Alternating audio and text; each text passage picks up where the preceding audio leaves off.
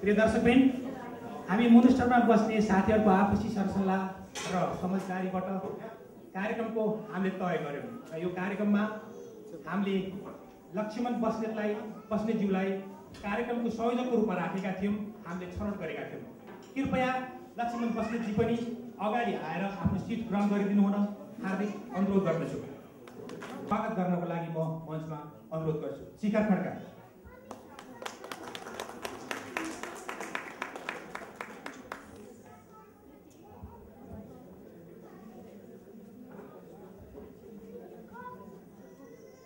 यस कार्यक्रमका संयोजक लक्ष्मणजी हाम्रो मायन महिम राजदूतज्यू एनआरएनका महामन्त्री सुमन कार्कीज्यू हाम्रो उपाध्यक्षज्यू र यहाँ उपस्थित हुने सम्पूर्ण दाजुभाइ दिदीबहिनीहरूमा म शिखर खड्का मुनिस्टरवासी नेपालीहरूको तर्फबाट यहाँहरूलाई आफ्नो अमूल्य समयलाई लिएर यहाँ हामी कहाँ उपस्थित हुनुभएकोमा हार्दिक स्वागत गर्न चाहन्छु।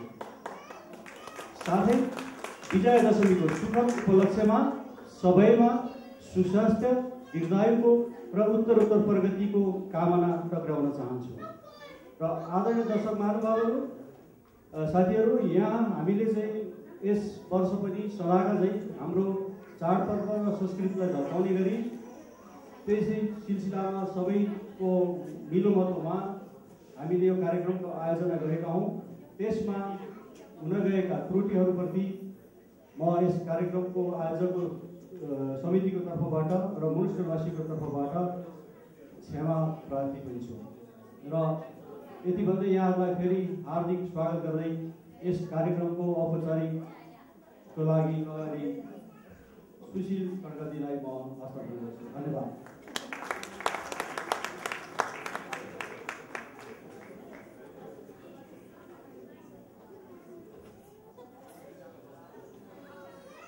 धन्यवाद शिखर खड्का अब म हाम्रै मुनिस्टरमा लामो समयदेखि स्थायी बसोबास गर्दै आउने हाम्रा साथीभाइ टङ्कल लम्साललाई स्टेजमा आमन्त्रण गरेर कार्यक्रमको विविध बारे र हामीले कार्यक्रम किन गर्न लायौँ यो कार्यक्रमको उपाध्येता र हाम्रा उपस्थित नेपाली दाजुभाइ दिदीबहिनीहरूमा र आदरणीय हाम्रा राजुज्यूमा सबैमा हामीहरूको महान चाड दसैँको शुभकामना व्यक्त गर्न आमन्त्रण गर्छु। कृपया टङ्कलम साजी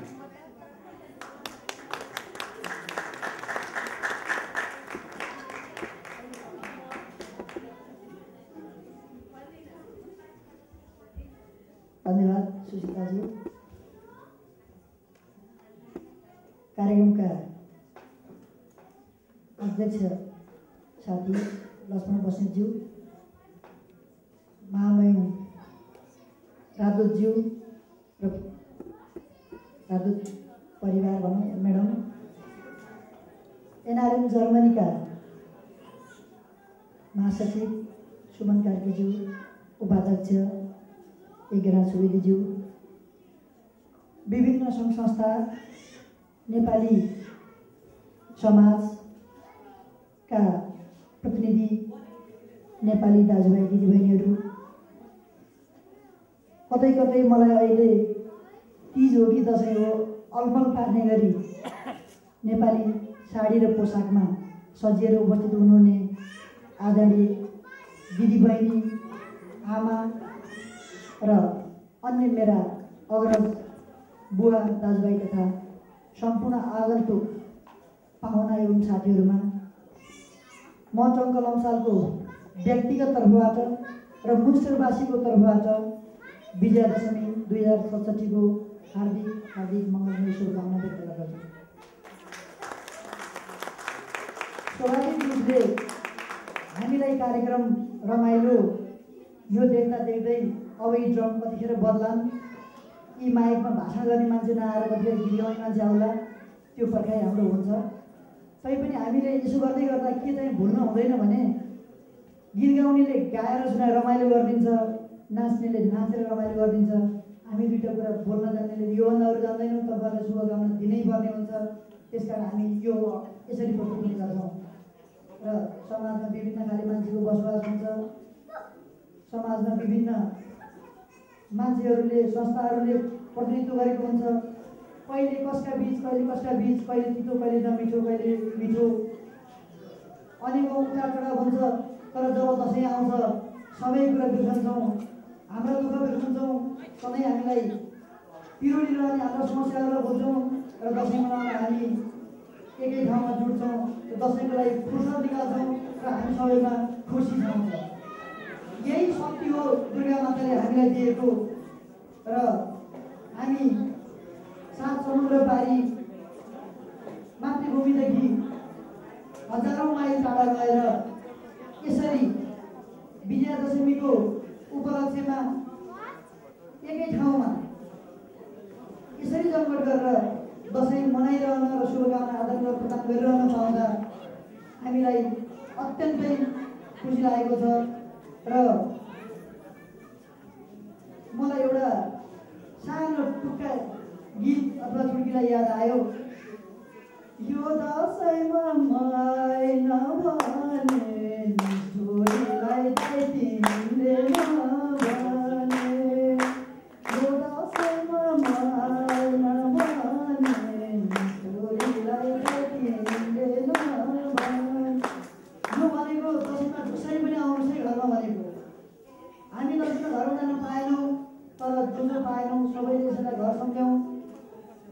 सबै जुटेको हामीले परिवार सम्झ्यौँ र दसैँ मनाउने अवसर सृजना गऱ्यौँ र मुन्सरमा दसैँ कार्य- कार्यक्रम आयोजना गर्ने सिलसिलामा हामीले विभिन्न उतार चढाव झेलेकै हौँ। कार्यक्रम योभन्दा धेरै वृहत गर्ने योजना बनाएकै हौँ। तर थोरै हाम्रो नेपालीपन हामीले छोडेका रहन्छौँ विचार अप्ठ्यारो पर्दै आयो तर पनि हामी सफल भयौँ र यति भव्य रूपमा दसैँ मनाइरहन सफल भयौँ असाध्यै अ, खुसी लागेको छ र हामी सफल भएका छौँ र अबको बाँकी रमाइलो यी शुभकामना आदान प्रदान हामीले खानपिनको पनि व्यवस्था गरेका छौँ यो सबै कार्यक्रम अविस्मरणीय रूपमा मनाऊ र यो दसैँले मैले अहिले पनि भनिसकेँ दुर्गा माताले हामी सबैलाई सुख समृद्धि आरोग्यता र उत्तरोत्तर प्रगतिमा साथ दिउन् भन्दै पुनः एकपटक हार्दिक मङ्गलमय शुभकामना व्यक्त गर्दछु नमस्कार